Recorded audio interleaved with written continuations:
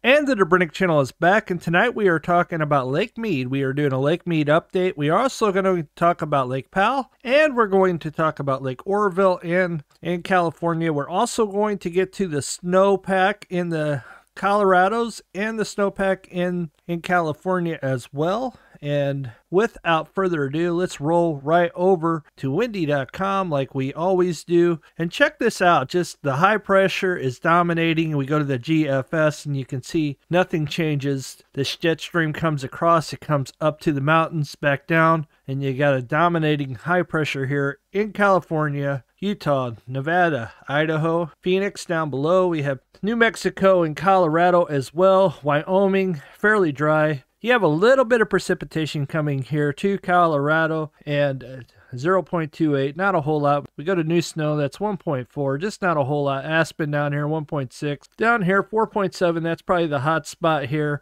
And then you can see over here by Oroville, zero inches. So nothing coming here. Tahoe, zero inches. The whole state of California, all the way except for right here 0.2 bakersfield down there. Hello bakersfield. And then los angeles there san diego down below zero inches. You have very little coming whatsoever. The majority of it if you live on the east coast you are going to get slammed over the next 10 days there's probably going to be a, a nor'easter coming all the way from Pittsburgh. Check this all the way to Rochester up here and to Montreal and Quebec up here. You, you just got Ottawa's over here, 10.7. Boston, Massachusetts, 1.7. And I bet you there's going to be a lot of rain with that and 1.9 inches. So you can see the heavy spot right through here. And that's the majority of that snow from from eastern Illinois all the way over to western Ohio. Just not a whole lot of precipitation whatsoever. 0.2, that's going to be dry. You can see this pattern just shit comes down and around and back up. So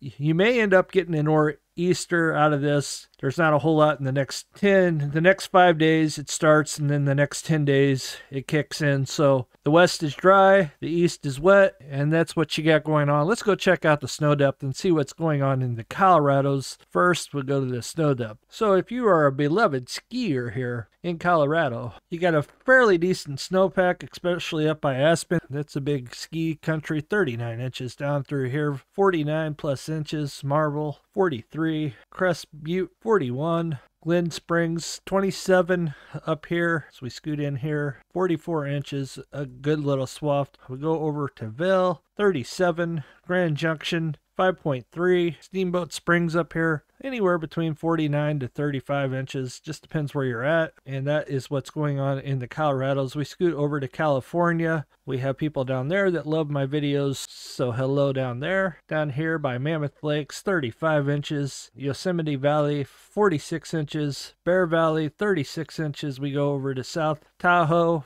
26 inches, Tahoe City, 26 inches, all the way down here, 31 inches, Indian Village, 27, Carson City, 9.5, Johnson Lane, 10.1, Minden, 15, Truckee, 31.7. I think I pronounced that right. 44 through here. You get over here by Lake Oroville's watershed. You have East Quincy over here, 34. Caribou, 25.1. Sterling City over here, 8.7. And the snow line's right by Big Bend, 0.5. And that is what is going on there. We go up to Shasta up here and see what's going on there. Mount Shasta, 2.5. Weed, 19.9 over here 30 inches and over here 37.5 and that is what's going on let's go check out the snowpack in California as far as your percentages go. So this has come down. This was at 31 the other day. It's at 127%. So it continues to fall as it will as it's dry. And this was at 131 the other day, and now it's at 130. This was at 138, and now it's at 133. So everything continues to fall as the sun's baking it away and it's gassing off, your percentages come down. This is at 60, 58. Let's go to Lake Oroville and see if they fired the power plant back up. It was at 2 the other day. Folsom was at 60% full the other day, and now it is down to 57% full as they continue to let water out. And they're continuing to let more water out than is coming in. Your current water level is 424.02 feet MSL,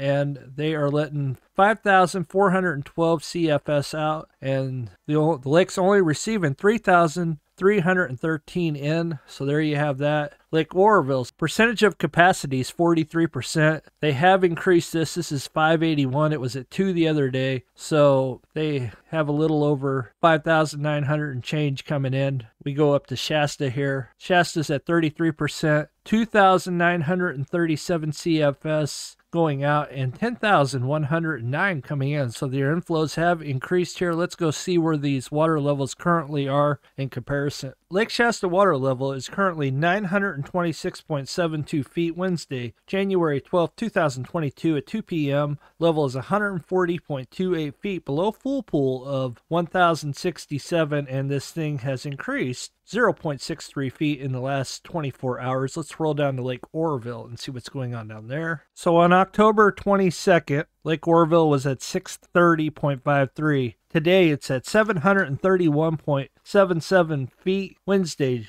January 12, 2022 at 3 p.m. The level is 168.23 feet below full pool of 900 and this thing has increased 1.11 feet. So there you have it. The lake has officially come up over the 100 foot mark. Congratulations. They finally got it there. It's higher than it ever was last year. So we have that going for us. 2021, the highest it got was 730, right on the nose. On April 23rd, it got at 730, so this thing will surpass that. Will it be 2019? That's to be determined. We will definitely be watching that very carefully. Let's roll over to Lake Powell and see what's going on at Lake Powell. Here we are at Lake Powell. The water level is 3,535.25 feet. MSL Tuesday, January 11, 12 a.m. The level is 164.75 feet below full pool of 3,700. It has dropped 0.19 feet. So let's roll down to Lake Mead and see how much that has increased. Lake Mead water level 1,066.85 feet MSL Wednesday, January 12, 4 p.m. The level is 162.15 feet below full pool of 1,229. The changes since yesterday 0.03. This thing rises this time of year, so this is to be expected. It's not rising dramatically, so we'll see what ultimately happens this year. Thank you guys for stopping by. It's been another great night at the Dobrinich channel, and we appreciate everybody that stops by and watches the videos. Please like, share, and comment below and we will see you soon on the Dobrinich channel. God bless.